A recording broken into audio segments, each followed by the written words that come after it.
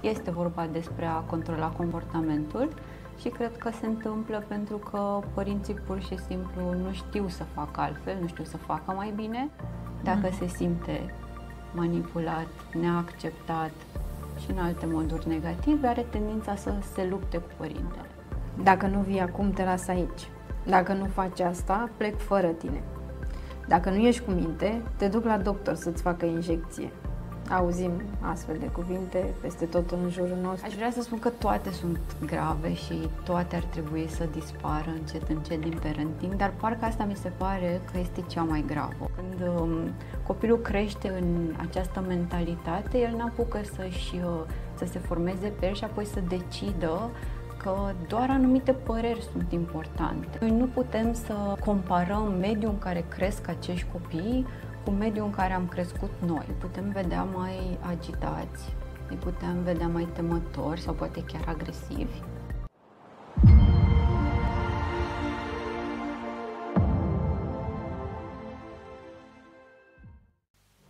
Bună ziua, dragilor, și bun venit la Părinți Prezenți, o emisiune despre educație conștientă a copiilor. Eu sunt gazda dumneavoastră, Loredana Iriciuc, redactor și părinți și pitici.ro, iar emisiunea o puteți urmări pe canalele de YouTube și paginile de Facebook Părinți și Pitici, DC News și DC News TV. Iar dacă vă plac informațiile pe care le primiți în această emisiune și considerați că vă sunt utile, vă invit să dați un share, un like și un subscribe pentru ca ele să ajungă la cât mai mulți părinți. Părinți care își doresc să-și educe copiii cât mai bine. Însă unele expresii folosite din obișnuință pot lăsa urme emoționale adânci. Dacă faci asta, mă superi. Dacă nu vii acum, te las aici. Sau ești băiat. Nu-i frumos să plângi. Acestea sunt doar câteva exemple de afirmații care, deși bine intenționate, pot afecta dezvoltarea psihologică a copiilor. Astăzi o avem din nou alături de noi pe Violeta Mihalașcu, psiholog clinician, psihoterapeut cognitiv-comportamental, dar și mămică. Ea ne va spune despre impactul acestor afirmații, ce au de fapt copiii când noi le spunem aceste lucruri, dar și cum putem comunica mai conștient și mai eficient pentru a-i ajuta să crească încrezători și echilibrați emoțional. Bună, Violeta, și mulțumesc că ai revenit la Părinți Prezenți. Bună, mă bucur că m-ai invitat din nou. Mă bucur că sunt aici. Violeta, pentru început aș vrea să ne spui care ar fi motivul din spatele acestor uh, afirmații. De ce folosesc părinții uh, cuvinte din acestea care îi pot afecta emoțional? E cumva o metodă rapidă de a controla comportamentul sau e vorba de altceva, ceva mai profund poate?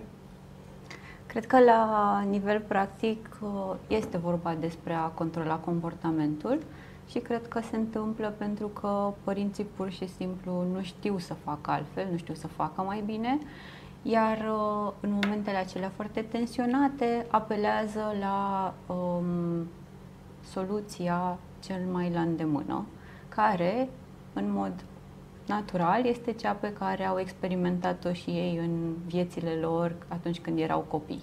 Deci, uh, da, o folosesc ca să îi um, convingă pe copii să facă lucrurile pe care ei și le doresc, cu intenții total bune, însă cu efecte psihologice nu la fel de pozitive asupra copiilor. Și ce impact au aceste afirmații asupra relației părinte-copil?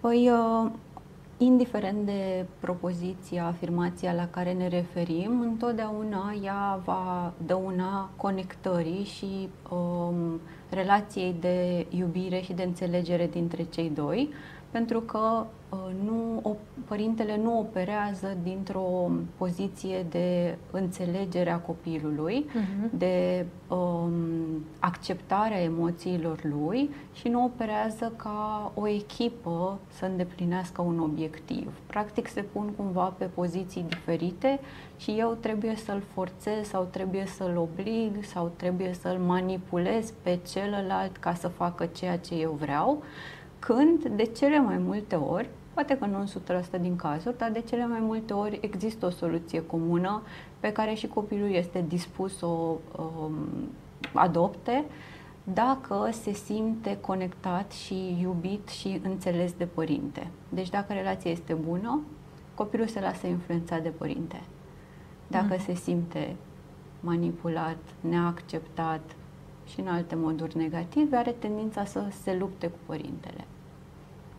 Și noi, adulții, facem la fel cam. Exact, exact.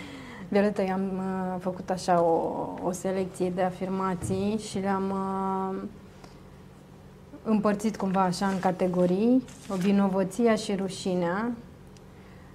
Nu mai faci așa că mă superi. Plânge mami dacă faci așa. Mai plânge că ești urâtă. Ce aude copilul când le spunem astfel de cuvinte pline de vinovăție și de rușine?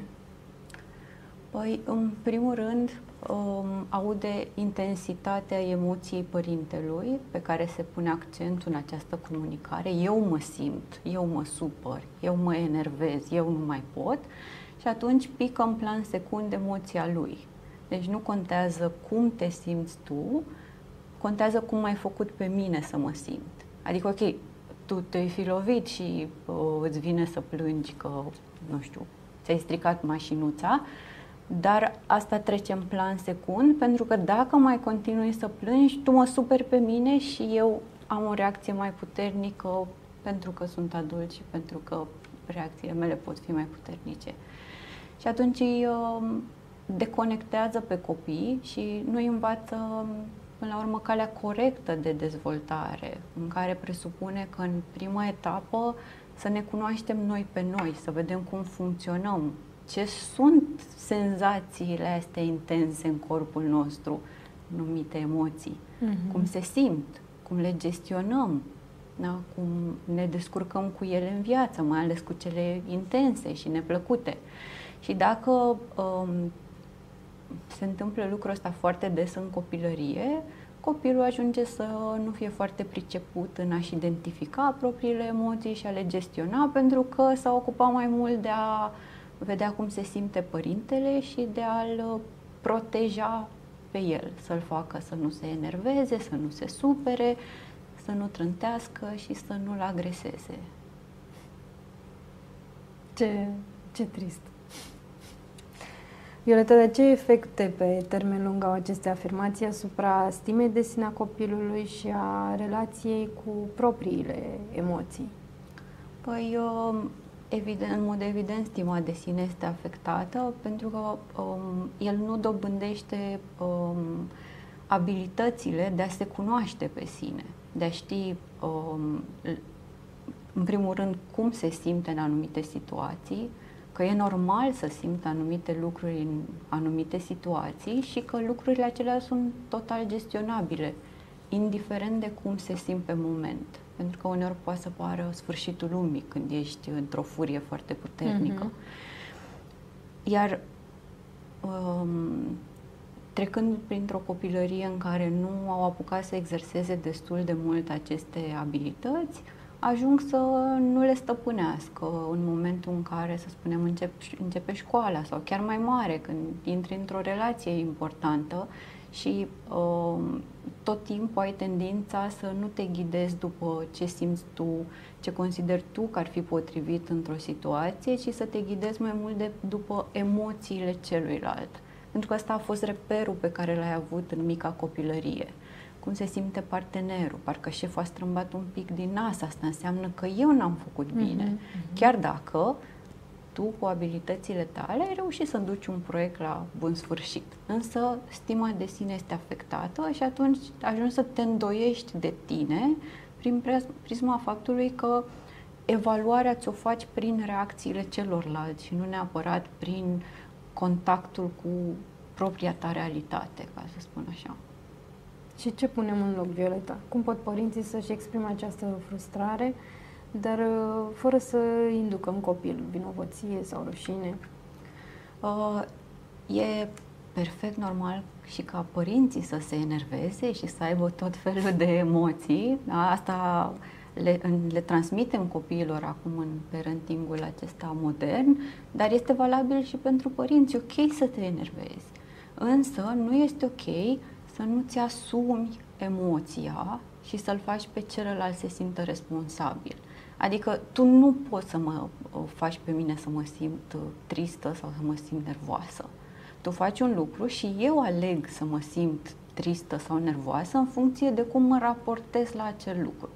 Deci, cu asumare de sine, adică eu m-am enervat, da? eu m-am enervat că ai trântit, nu știu, poarta peste degetele mele mm-hmm. sau mhm. m-a durut foarte tare.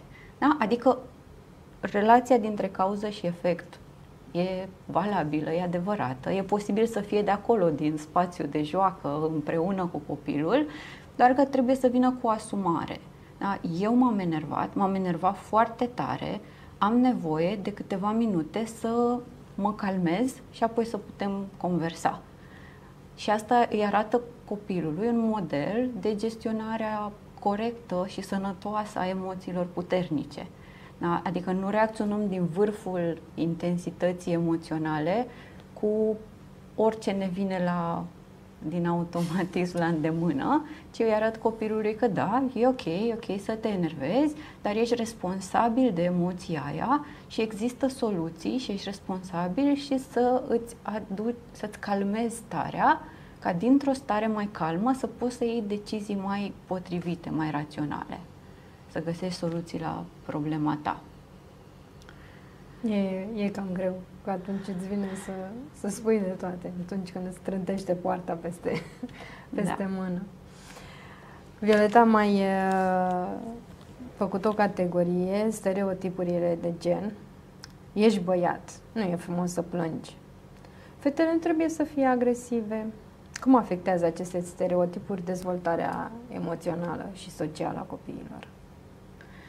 Păi, la fel ca și celelalte îi uh, deconectează de propria, propriile lor trăiri autentice din momentul respectiv, pentru că li se spune cum se așteaptă societatea da. să reacționeze.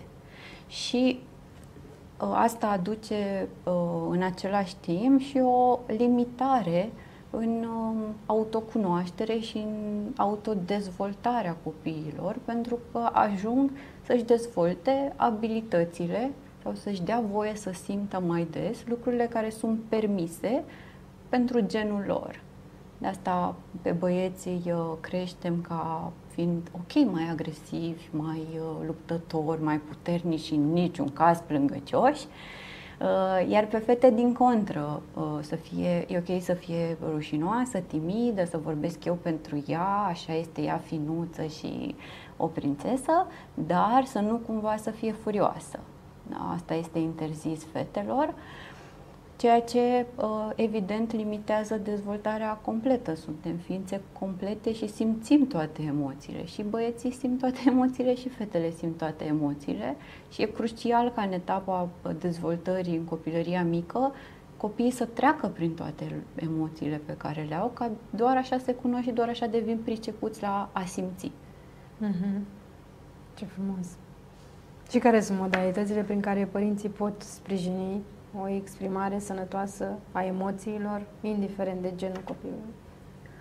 Păi cred că trebuie pur și simplu să ne scoatem ideea de gen din, din cap și din fericire eu aud destul de des că um, cu mămicile cu care lucrez expresia um, e băiat și ok să plângă și el. um, prin uh, faptul că le arătăm că fiecare emoție este ok, poate fi acceptată, e validă și în principal ne transmite ceva și asta este mult mai important decât uh, ar trebui să simți sau nu ar trebui să simți pentru că ești fată sau băiat. Hai să vedem de ce te-ai înfuriat. Hai să vedem ce te întristează. Hai ca să ne ducem într-o altă direcție.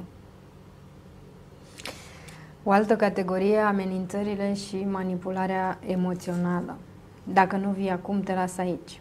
Dacă nu faci asta, plec fără tine. Dacă nu ești cu minte, te duc la doctor să-ți facă injecție. Auzim astfel de cuvinte peste tot în jurul nostru, cel puțin eu aud cel mai des în parcuri, la locurile de joacă. Ce consecințe, consecințe psihologice pot apărea când noi le spunem astfel de cuvinte, astfel de amenințări?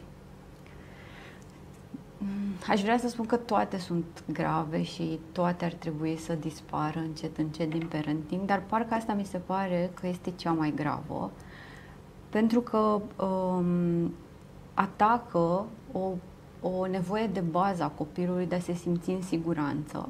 Iar atunci când îl amenințăm că îl lăsăm într-un loc, evident că se va simți părăsit, se va simți în pericol să rămână singur, deci nu se va simți în siguranță. Deci pentru nu că este lăsăm. un copil. Deși nu lași. Dar amenințarea plutește tot timpul asupra lui. Această anxietate, această grijă că va fi abandonat, care se întâlnește foarte des în grijile adulților. Mhm. Teama asta de abandon. Teama de abandon. Da. Și ce alternative au părinții pentru a impune limite, dar fără să recurgă la astfel de amenințări? Um, depinde foarte mult de situația în care se află, dar um, spun lucrul ăsta pentru că există momente de a anticipa un, o posibilă plecare din parc. Adică copiii au nevoie de predictibilitate, au nevoie de anunțuri repetate, pentru că ei nu înțeleg uh, conceptul de timp, cel puțin când sunt foarte micuți, și atunci au nevoie să fie anunțați.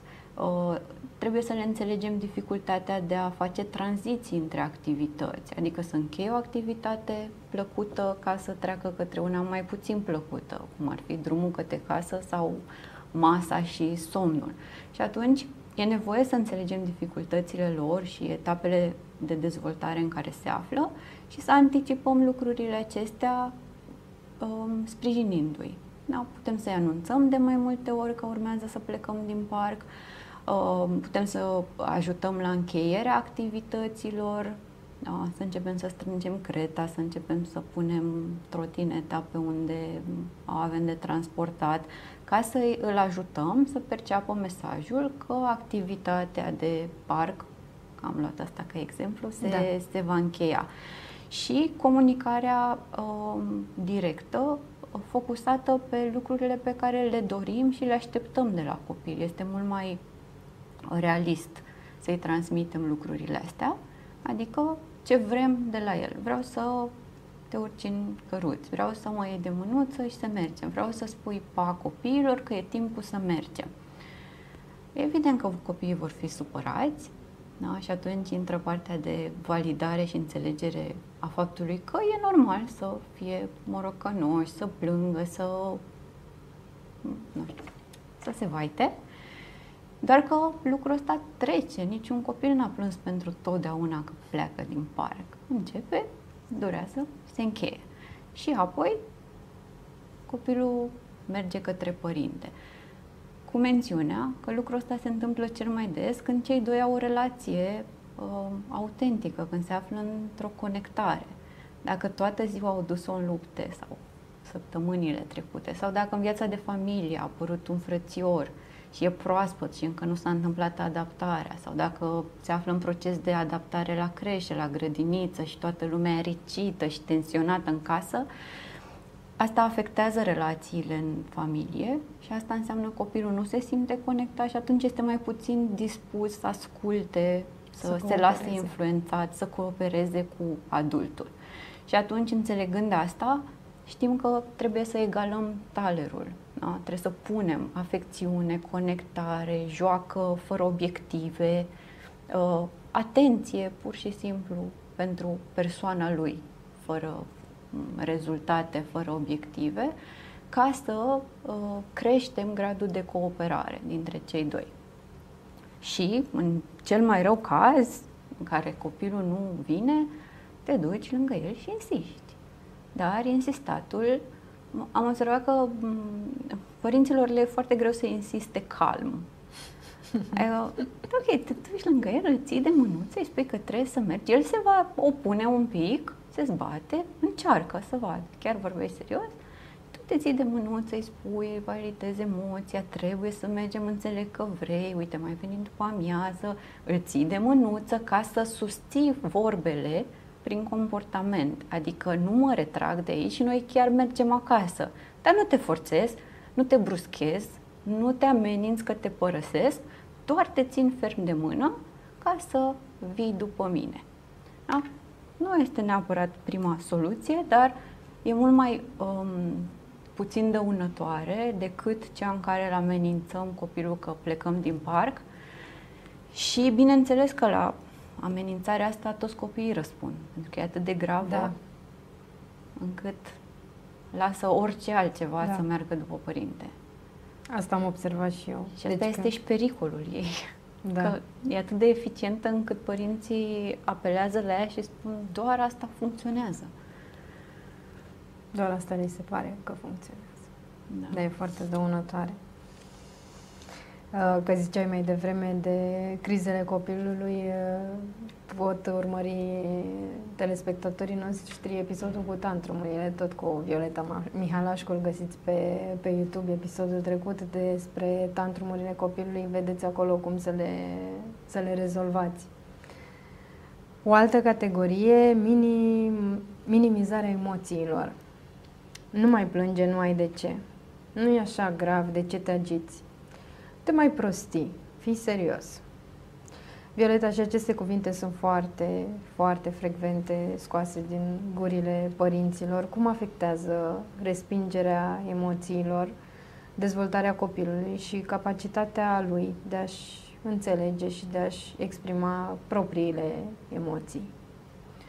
Um, exact cum ai și spus, îl, nu-l, nu-l ajută pe copil să se uh, cunoască și îl deconectează de, își respinge și el propriile lui uh, emoții. E ca și când uh, copilul ar intra în școală, în clasa 1, iar uh, profesoara de învățătoare la materia matematică nu i-ar prezenta nimic, nu i-ar prezenta numere, nu i-ar prezenta uh, cum se scriu, cum se calculează, în schimb, la finalul clasei a patra i-ar da o testare. Ea s-ar aștepta ca el să ia o notă bună la testare. Așa se întâmplă și cu copilăria mică și cu emoțiile. Dacă nu îi însoțim pe copii în călătoria asta ca niște profesori, ca niște învățători în ale emoțiilor. Pentru că copilăria mică, cel puțin, nu este despre nimic altceva mai important decât să-și controleze corpul și să-și controleze emoțiile, ca apoi să poată să învețe numere, litere și alte lucruri. Astfel că uh, se, se sare un pas și se ratează o etapă foarte importantă atunci când părintele, în loc să um, îl însoțească în emoția lui, de fapt respinge emoția pentru că și lui este foarte greu să stea acolo cu un copil care plânge 5 minute, care o, ți se pare că durează o eternitate, uh-huh. durează uh-huh. plâns o jumătate de oră, dar dacă te uiți pe ceas, nici 5 minute nu au, nu au trecut. Plus că e foarte important pentru părinți să înțeleagă că trebuie să privească lucrurile din perspectiva copilului în acel moment. Că da, pentru noi, care am trăit 30-40 de ani, o lovitură de un obiect sau, eu știu, o, o distrugere a unei jucării nu este o tragedie. Dar pentru un copil care e la prima experiență sau care este pur și simplu mic, el percepe lucrurile cu o, o altă viziune, sunt noi pentru el, sunt intense, sunt grave și atunci trebuie, ca să putem să-l înțelegem pe copil, trebuie să vedem din perspectiva lui lucrurile. Și asta cred că ne face un pic mai înțelegător și conținător cu emoțiile lor, pentru că înțelegem de unde vin. Mm-hmm. Și cum pot părinții să valideze emoțiile copilului chiar și atunci când pentru noi sunt exagerate? Tocmai din această schimbare de perspectivă. Adică înțeleg, înțeleg cât de greu poate să fie copilului meu care crede că dacă a scăpat mașina, mașinuța într-o uh, groapă unde nu mai poate să o ia, este finalul lumii. Nu există o altă soluție, pentru că nici nu poate să gândească din intensitatea emoției una, o altă soluție. Și atunci înțeleg că atât de grav este la el și atunci mă opresc un pic și îi, îi spun că văd cât de gravă e situația pentru el.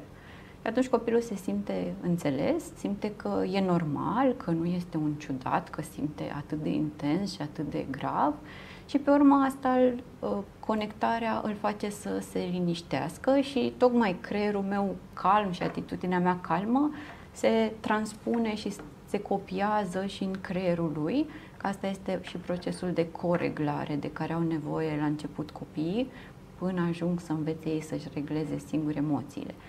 Și atunci mă pun în perspectiva lui, pentru că m-am pus în perspectiva lui, situația chiar pare gravă, îl înțeleg, ne calmăm, îl ajut să se calmeze și pe urmă încep să-i duc mintea și într-o direcție mai pozitivă, unde sunt soluții, unde se pot găsi soluții, fie că le găsește el, fie că îl ajut eu să rezolvăm cu mașinuța sau să cumpărăm alta sau să o înlocuim cu altceva. Mereu când vorbesc cu tine de așa o, o sclipire în cap cât avem de lucrat cu noi întâi. Da. Cu noi adulții. Să ne putem pune în perspectivă, să putem privi din perspectiva copilului e, mie mi se pare extraordinar de greu. Mm-hmm. Nu, nu ne e așa la îndemână, deci trebuie să lucrăm mai mult cu noi decât Da, păi parenting-ul din păcate e despre părinți și nu e despre copii. Da. E procesul nostru de a ne de a afla cum funcționează copiii. Chiar mă gândeam că avem manuale din astea de instrucțiuni pentru toate aparatele din casă, pentru frigider, uscător. Mai, dar nu mi-a venit cu copilul niciun manual de instrucțiuni. Dacă n-aș fi fost în domeniu să citesc despre dezvoltarea copilului, îmi pot da seama cât de greu este pentru un părinte dintr-un alt domeniu să înțeleagă cum funcționează. Și că e foarte multă informație de acumulat într-un timp foarte scurt de când a apărut copilul și deja te solicită și te obosește. Și nu doar informații de acumulat, informații de conștientizat. Da. Și de pus în practică. Exact. Să trecem mai, uh, mai departe. Următoarea categorie e educația prin uh, frică de judecată. Nu mai fă așa că te vede lumea.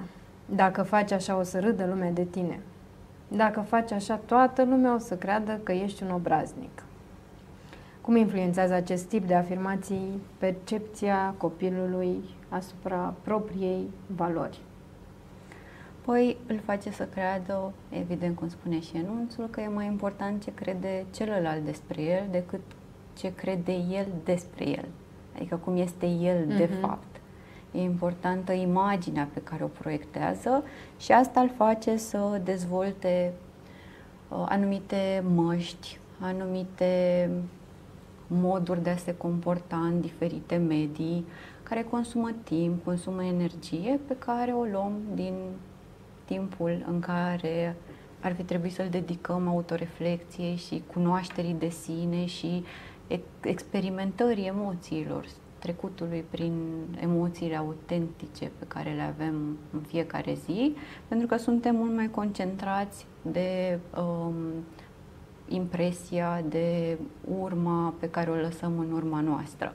Nu că n-ar fi importantă, dar nu e mai importantă decât uh, etapa în care ar trebui să ne cunoaștem înainte. Adică să știu cum sunt, eu de fapt ce îmi place mie, ce nevoie am, um, la ce mă pricep, de ce nu mă pricep așa bine?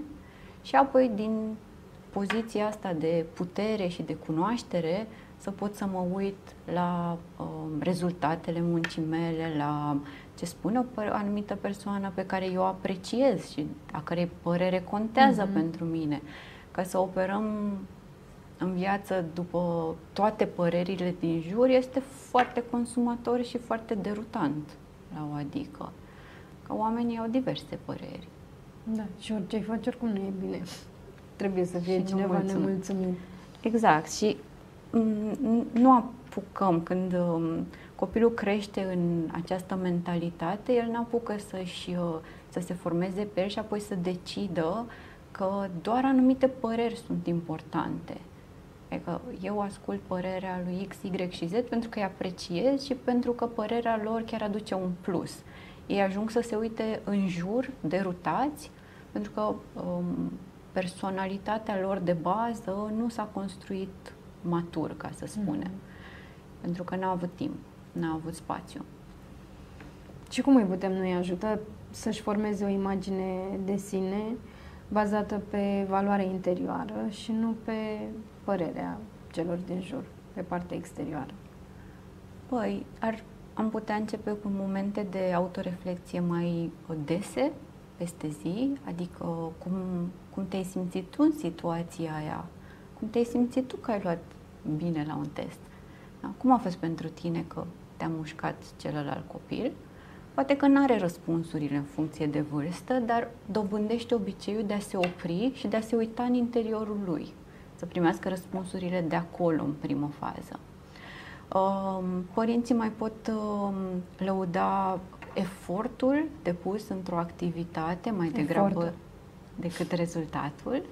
Da? Pentru că rezultatul poate să fie diferit, dar dacă eu am muncit pe brânci ca să iau un bine mm-hmm. și un copil care e foarte inteligent și a fost la fotbal toată ziua, dar a luat foarte bine, degeaba compar rezultatele. Pentru că asta e capacitatea mea, dar eu am muncit ca să obțin calificativul respectiv. Și munca asta se construiește, construiește niște abilități importante care mai târziu, în cine știe ce contexte potrivite, poate să ducă la rezultate bune și foarte bune. Și asta îl ajută pe copil să se concentreze pe um, ce poate el să facă. Dacă un copil care nu s-a născut cu un IQ peste medie nu poate să și-l crească peste medie. Poate mm-hmm. să fie mhm. foarte muncitor și să profite de IQ-ul pe care îl are el și să-l crească cu 10 puncte pe an, mm-hmm. maxim mm-hmm. ce s-ar putea. Da, și la fel, nu poți să-i spui unui copil care nu s-a născut cu o frumusețe uimitoare că să-l compari cu vecinul și să spui că tu de ce nu ești la fel de frumos. Da, adică trăsăturile astea statice, născute, nu și-au rol în comparație și atunci ne concentrăm pe celelalte pe care le putem dezvolta, abilitățile. Mm-hmm. Pentru că vorbesc de comparații. Mai e o categorie, valorizarea prin comparație cu alți copii de ce nu ești ca X? Uite cât de frumos se comportă el. Ar trebui să poți la vârsta ta, uite ce bine fac alții. Ce not a luat X? Ce not a luat Y? Dacă el a luat 10, tu de ce n-ai luat? Violeta și noi de mici am fost crescuți prin comparație cu ceilalți, mai ales ultima afirmație, ăla a luat 10, tu de ce n-ai luat? Încă îmi răsună în, în minte. Ce impact are această comparație constantă cu alți copii? Păi, în principal, nu ne ajută să ne dezvoltăm pentru că ne oprește un pic în a ne tot uita în jur să vedem ceilalți ce au făcut. Uh, apoi ne simțim foarte uh, puțin acceptați de părinții noștri când tot timpul uh, suntem criticați, puși pe locul 2 și tot timpul altcineva este mai, mai bun și mai a reușit mai bine. Um, apoi, uh, nu ne, nu ne ajută să ne dezvoltăm abilitățile care pot fi dezvoltate, așa cum vorbeam în categoria cealaltă. Uh-huh. Ne dezvoltă anxietatea, hiperatenția la detalii de tipul ce a zis vecina, dar nu ne dezvoltă puterea de concentrare. Ok, n-am luat o notă bună față de luna trecută la matematică, mă compar eu cu mine și îmi dezvolt puterea de concentrare sau îmi dezvolt abilitatea de a face nu știu ce ecuații. În schimb, dacă doar sunt comparată cu uh, o vecină și cu rezultatul ei final, fără să știu și munca și efortul și cum a ajuns ea la rezultatul respectiv, comparația realmente nu mă ajută pe mine să mă îmbunătățesc, ci doar mă ajută să, să fiu critică cu mine, să trăiesc într-o emoție negativă care nu ajută la învățare. Da? Copiii um, ajung să se, să se concentreze foarte greu la școală atunci când trăiesc în frică, trăiesc în anxietate datorată acestor comparații. Frica nu este un um, teren bun pentru învățare. Deși, da, noi așa am învățat da. foarte mult, dar de asta nici nu ne amintim foarte multe din școală. Da, sunt foarte puține amintiri. Să știi că da, sunt da. foarte puține. Din cauza fricii? Păi, nu. Era mai... N-am, n-am înmagazinat toate informațiile. Da? Poate o vreme eram și disociați, da? foarte deconectați de a trăi atâtea emoții negative. Da? Ne anesteziam simțurile cu alte activități. Mai multe lucruri acolo. Poate facem o emisiune specială pe, pe acest subiect. Da. Cred că ar fi un subiect tare bun. Da, și actual. Și actual, pentru da. adulții din ziua de astăzi. Ah, unde am rămas? Ah, la valorizarea prin comparație cu alți copii. Care sunt metodele prin care părinții își pot încuraja copiii să își dezvolte propriile abilități și identitatea, dar fără să-i compare cu ceilalți? Păi spuneam de această comparație a lor cu sinele lor din trecut, da? cel puțin pe ce ține de uh, abilități uh, școlare. Um, e important să vedem ce putem noi să îmbunătățim de la varianta noastră din trecut și să exersăm lucrurile respective. Ajută foarte mult feedback-ul pozitiv și concentrarea pe aspectele pozitive.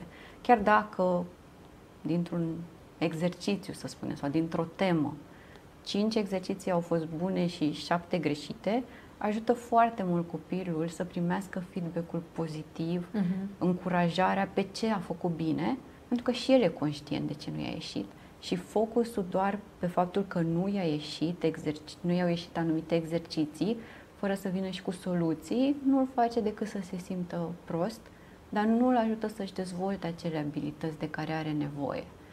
Mi se pare că, m- cred că asta aș spune ca o concluzie, că a asigura un climat pozitiv în învățare și a pune focusul pe uh, efort, pe proces și nu pe rezultat, ajută copiii să um, își exprime potențialul lor. Uh-huh. Că fiecare avem un potențial. Părinții își pot dori copii minune și premianți, dar toți avem un anumit potențial care poate fi încurajat și da, ar fi, ar fi minunat să se pună focusul pe ce ai făcut bine, dar vezi și tu că la școală cu roșu pe ce nu ai făcut bine. Deci ăla e, iese în evidență. Copilul asta vede mereu doar ce n-a făcut bine. De asta am, am zis, pentru că observ frica asta a adulților, că dacă nu spunem și de ceva de rău, dacă nu spune și despre răul care s-a întâmplat, e ca și când copilul nu-l conștientizează și nu o să învețe să facă uh-huh, mai mhm, bine. Și uh-huh. tocmai invers stau lucrurile.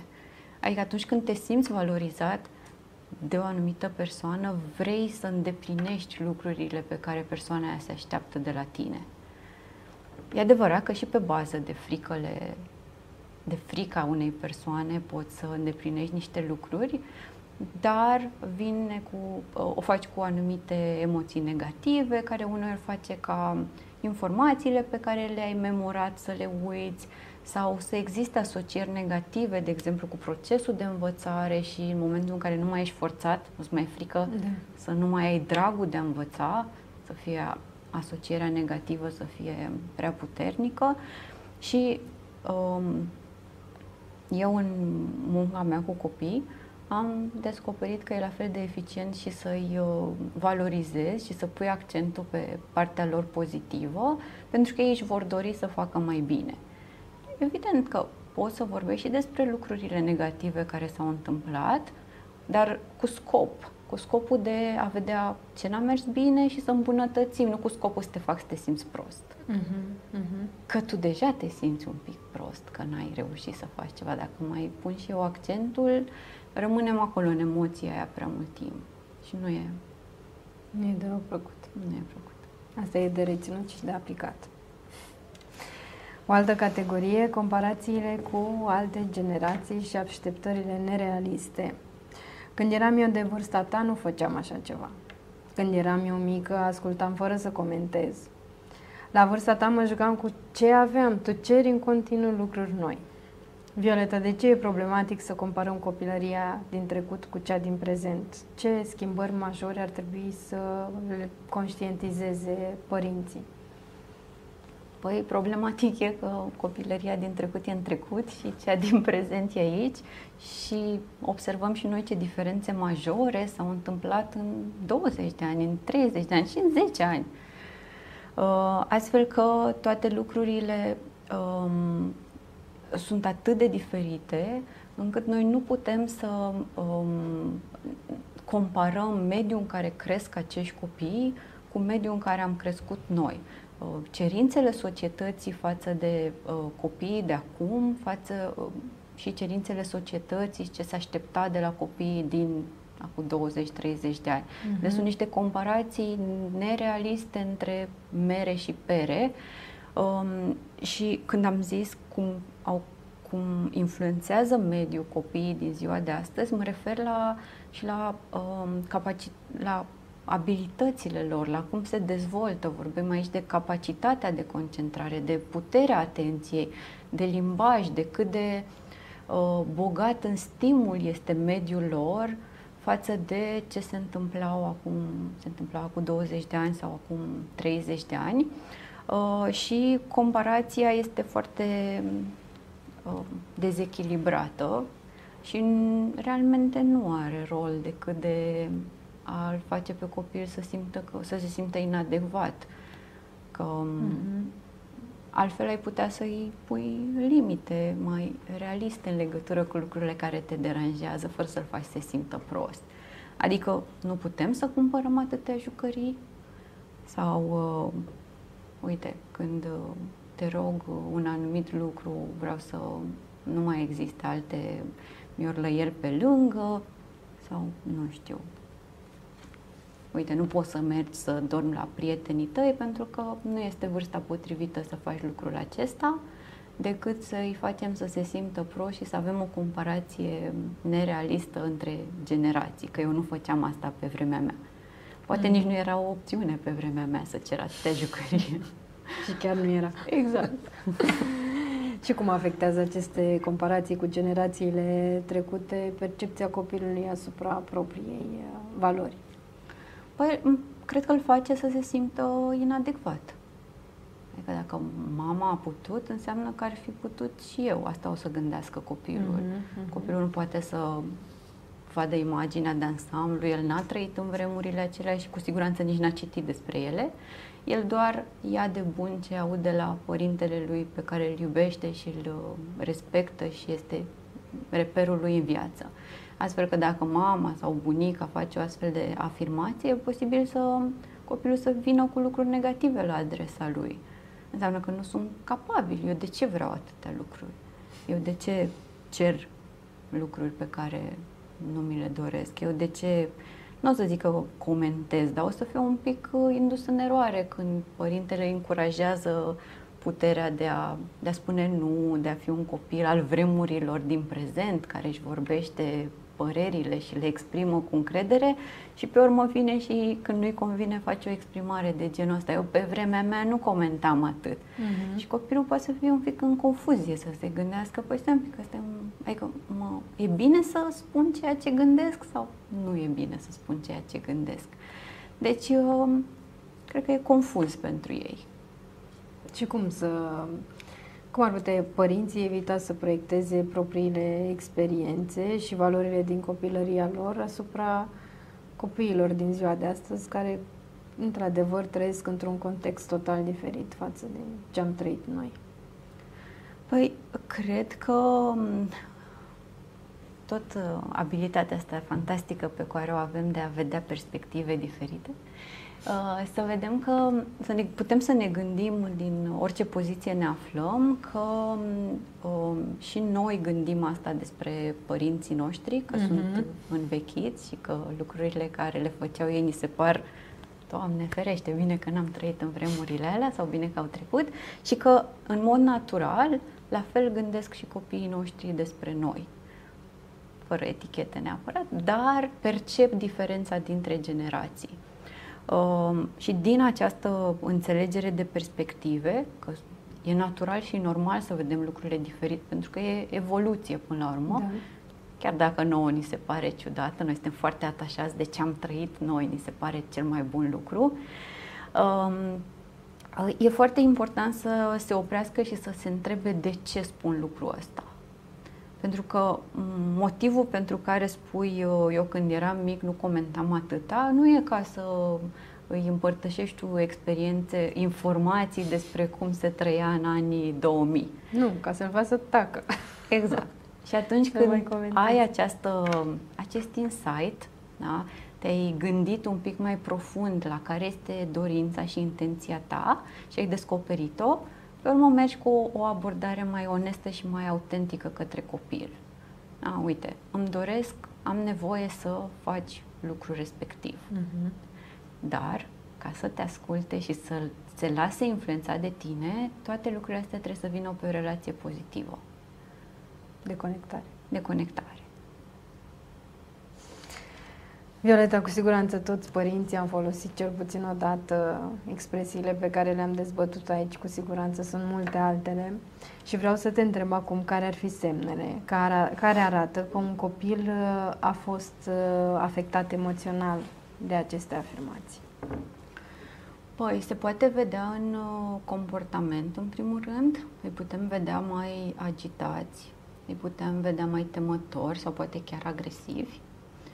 Uh, copiii nu comunică atât de mult prin cuvinte stările lor, dar prin comportament sunt uh, foarte sinceri uh-huh. și ne dau de înțeles că ceva nu este în regulă. Putem vedea dificultăți de concentrare, um, putem vedea reacții disproporționate pentru um, evenimente care în mod normal n-ar declanșa niște reacții atât de puternice să vedem că copilul este foarte încărcat emoțional și asta iarăși este un semn că ceva se întâmplă cu el. Uh, poate, mai poate fi afectată stima de sine, da, să um, înceapă să um, dea înapoi, să se teamă, să participe la activități la care o făcea deja sau să încerce lucruri noi. Și uh, relația, comunicarea cu părintele, să nu mai povestească la fel de mult, să nu mai exprime ceea ce simte și uh, realmente să um, cei doi sau trei uh, din familie să se simtă deconectați. Cumva sentimentul ăla că nu mai știu ce e cu copilul meu, parcă nu, nu mai ajung la el. Da? Înseamnă că cu copilul se întâmplă ceva, trece prin niște stări și poate fi afectat de astfel de um, expresii pe care să le audă frecvent și pe care să ajungă să le internalizeze. Și ce măsuri imediat ar trebui noi să luăm ca părinți dacă ne dăm seama că copilul nostru a fost afectat de aceste afirmații? Păi, um, e important să avem o comunicare deschisă, dar uh, cred că înainte și înainte e important să conștientizăm prin astfel de emisiuni, prin uh, informații despre dezvoltarea copilului, de ce aceste exprimări, deși uneori eficiente, nu sunt uh, pozitive pentru dezvoltarea copilului și de ce ar trebui să le oprim și apoi ce ar trebui să punem în loc. Asta ca responsabilitatea părintelui față de, de el și de propria lui dezvoltare. Uh-huh. Și pe urmă, poate fi adresată relația dintre cei doi. Din nou, încurajată discuții, uh, încurajate discuțiile, discutat despre evenimente uh, care s-au întâmplat și care pot, păre, pot fi încărcate emoțional. Dar tocmai discuțiile despre ele îi ajută pe copii să se simtă înțeleși, să simtă că, fac, că părintele face parte din viața lor emoțională, din viața lor socială, Uh, poate chiar să le explice uh, anumite lucruri pe care nu le-au înțeles și să ajută să proceseze uh, lucrurile astea pe care, care uneori îi pot face confuzi. Și cum putem noi să prevenim repetarea acestui model toxic care ni s-a transmis din generație în generație, pentru că e clar că aceste cuvinte nu vin de la noi putere, vin din din, din subconștientul nostru? Păi, eu cred că dacă ar fi să zic o soluție, o mantră care să rămână așa pe scurt în memoria celor care ne urmăresc, ar fi să um, ne oprim și să ne întrebăm de ce îmi vine să spun lucrul ăsta. Adică ce vreau să transmit de fapt. Pentru că dacă răspunsul o să fie, vreau să meargă cu mine acasă sau vreau să se oprească din a face lucrul respectiv. Ei bine, lucrul ăla trebuie să-l transmitem. Uh-huh. Așa, cum ne vine, direct. Da? Vreau să mergem acasă pentru că, nu știu, a venit timpul. Decât să o iau pe ocolite cu acealaltă propoziție pe care am auzit-o și eu și care poate a fost eficientă, că m-a făcut să mă tem sau să mă să doresc să-i fac pe plac părintelui. Uh-huh. Deci să acționăm încercând să obținem aceleași lucruri, dar pe o cale mai directă, aș zice.